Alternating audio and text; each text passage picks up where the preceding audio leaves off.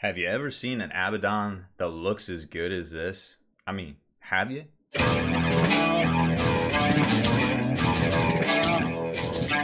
Spikey bits. Welcome back, Hobby Maniacs. I'm Rob Baer from SpikeyBits.com, and we have a treat for you today. CastleBrush.eu painted up an Abaddon for us and sent it over for you know some promotion and some you know recognition and stuff for their new studio. They're not even a year old but a lot of these folks have been painting for a number number of number of years to have a very professional looking website. And as you can see their, their quality of their miniatures is some of the best out there. This is one of the most amazing miniature works of art i've ever held in my hand so over on the Castle Brush EU site, you can check out all the stuff they do from the different levels they offer to a showcase of previously painted miniatures. And there he is right there. And we've got him in the studio, so we're gonna show you and you're gonna see just how good he looks in person as opposed to just on a picture on the internet. So they have a really cool looking website and it resizes itself. So I was able to actually center it into uh, the browser right here. But to find out more about stuff, and it's it's kind of good. It's a really cool site, like to kind of dig through it and stuff. They're going to tell you about the gallery or the uh, the studio themselves, and they've already outgrown their first location, so the pictures in here kind of uh, haven't been quite updated yet. No big deal. But what we want to talk about probably is the service and prices, and I've already got that preloaded because my internet's been wonky because we got uh, a lot of storms lately. But either way, they've got a really cool little breakdown of what levels they have, what you get for those levels, and prices. So just real quick, just give you an overview of how this is if you're interested in getting commission done by them. They have some good guy stuff and some bad guy stuff, and you can kind of click on this and play around with it, and then zoom in and do 360 stuff, which is really cool. It's an it's a really neat, very forward-thinking website right here that we've kind of never seen before from anyone else. So they put you know if they put half the time into their miniatures as they did in their website, it, it's e easy to say what you're going to get for your money right here, but we all know they can paint really well too just by seeing that Abaddon. So they've got a couple different levels here, level one, level two champion, and they don't have a slider bar. You just literally scroll, which I thought was kind of cool. Then they've got Overlord, which they recommend for their, uh, you know, sergeants and leaders and stuff. And if you really want to get crazy with the Cheese Whiz and go all out, they've got this Emperor level, which is what Abaddon is painted up to with a little bit of freehand and etc etc so it's a little bit more of a custom job because you know they wanted it to be a showpiece. Oh they're just not okay there we go. So they wanted it to be a showpiece so uh, so they could show it off. But here it is emperor level with a little bit of freehand. I think you can see there. I don't think that's part of the miniature. Maybe it is and i'm speaking. But look at the blade and look at all the details in there. And again it's hard for me to resize. So go over and check out their site for yourself to see better looking quality images in a much larger format now, pricing wise, what we were talking about, uh, they have all the different level one, level two, level three, level four, which is the Emperor level, which is what Abaddon is. They quote that separately, but as you can see, it's going to be higher than $500. And then they told me they did a little bit more freehand, which is actually handled over here on this pricing. So it was a large, difficult freehand because they did uh, those large areas of both the front and the back of the cape. So that being said, the invoice they gave me for this obviously we exchange for promotion and uh, being featured here on the page and the website, YouTube, all the things. But what they quoted me was $680 for this miniature US. And I'm sure you're already like, that's a lot of money. And it is. But it's a miniature work of art, literally. And we're going to show it to you. It's insane. So here he is in all the glory of the dark gods. Now, like I said, I don't get stuff like this in here very often. So I want to break it down as best I can and really just looking at it from a purely artistic standpoint, which I'm not qualified to do, but I feel like I've been in a hobby enough to, you know, yeah, give it the old college try. Now this is, remember, this is their level four, this is their Emperor, and we'll compare it to what the description is on their site here in a second. But from out here, and not zooming in on anything, but we will in a second, trust me, you can kind of see a lot of different things at this point. You can see the Demon Sword Drach'nyen up here. You can see the torch back here, and you can kind of see the spikes up here on the trophy rack, and of course, maybe the helmet, the Blood Angel's helmet, which is just dirty. After after murderizing Sanguinius, you're gonna have a Blood Angel's helmet on there. Oof, I like it. So, regardless, that's the first thing you see right here. And then as you start, that kind of brings you in. And then as you start, and maybe you know, like the, the the really poppy non-metal metallic golds down here, which are completely in contrast, but entirely appropriate for being Imperial down here, to the dark metal kind of like dark dark mechanicum kind of feel to a suit. Remember, this was made by the Dark Mechanicum for Abaddon. And then you start seeing, oh wow, that's like some crazy dark non-metal metallic gold. And then it really hits you the freehand, like on the cape there, on the tabard.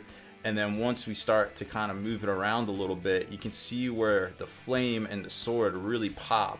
As you turn the corner here, we can see the cape looks just simply incredible the fur up here is all matted down and dirty and dark, like he's been wearing it for 10,000 years, which, you know, he might, he might, he might go to Burlington every couple of times the, when he's out sacking Cadia and stuff. But for the most part, it's probably, uh, it's probably old and dirty. And then you see the OSL coming off the torch right here, which resonates off this Imperial, wrecked Imperial Eagle and then also his cape some right there. It's really hard to see him very, it's not here, but it's definitely here. And it's those little nuances that really make this over the top for that Emperor level, right? So now as we get closer to the miniature, you can see the ridiculous amount of detail that's actually in this. Not not only is it, I mean, everything's base airbrush and then hyper highlighted up, but also there's glazing involved here. There's all sorts of uh, crazy Tom Cruise painting witchcraft that goes into this. But as you can see, I mean, the demon sword itself is um, it's just simply amazing. The the work on the torch as we get it back in focus here, also incredible. Like they did it like look at that glow. Like it it literally looks like it's glowing. It's so poppy. It's so there's no glazing, there's no it's just expertly blended right there. It's just simply incredible. And then maybe not the helmet so much, but the helmet definitely is noticeable and poppy right there.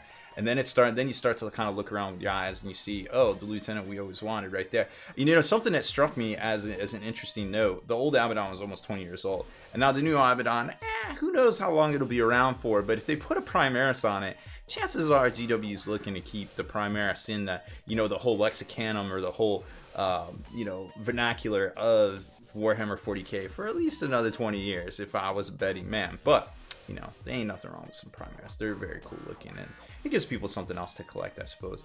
So looking at all of that, it's just simply stunning. Now level 4 Emperor, we'll go over that here in a second. So just to read it real quick, here it is. Here's their level 4 Emperor. Remember, this was base like, they don't even give you a base price. The the base price of the previous level was like 500 bucks. Like I said, this would have been at least $680 for this miniature right here.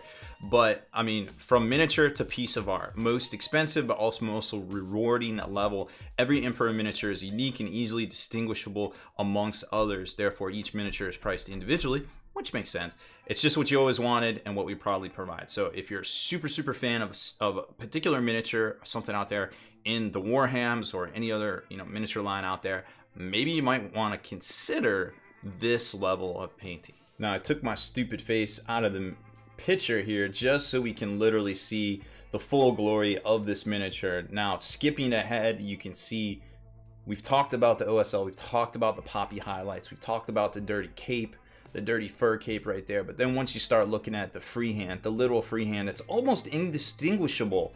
Like, is that part of the miniature? Did they just paint that? No, it's literally inseparable from the paint job itself. There's no brush strokes. There's no telltale signs. Look at the little detail on the little uh, Talon of Horus bullet feeds right there. Like every inch of this miniature has detail. It's painted. Look at the crazy pop on that eye.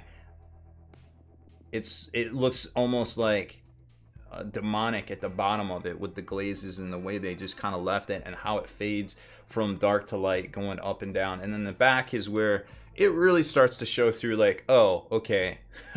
I start to get it here. Like just look at every little instance every little inch every single non-existent non-visible brushstroke but yet everything is expertly blended seamlessly worked into the miniature. It's just incredible. Like like i said this we don't see these very often here. And then when you pull it out and you kind of look at the bigger picture of the base itself you can see where they actually added in a lot more texture areas and stuff like that and filled in the gaps and then a bunch of different basing elements as well really help to kind of pull all of this miniature together and really make it into literally a miniature work of art. Okay, the stupid face is back and that's just to wrap up this video here. So I think it goes without saying gorgeous miniature. So please consider Castle Brush Studios, castlebrush.eu for all your commission projects out there. I'm sure whether it's something as over the top and utterly ridiculous, but yet a piece of miniature art, or, you know, maybe you just want 20, 30 models, 2000 point army, Maybe you want some Star Wars Legion. Well, they probably got you covered as well for all their different levels there that we've showed you. It kind of doesn't matter. Hit them up, see what they have to say. They, would be glad to hear from you. We've been talking since I think about November of last year, give or take. They had a uh, they contributed some stuff to Adepticon, a raffle army. So they're making a difference out there. They're not just in it for the money. They, these these folks are true artists, and I can't say enough good things about my interaction so far with them. And obviously, they're quality workmanship as well. So thank you very much for watching this video. Make sure you hit that subscribe button and turn on notifications so you can be the very first to like and comment on all our videos.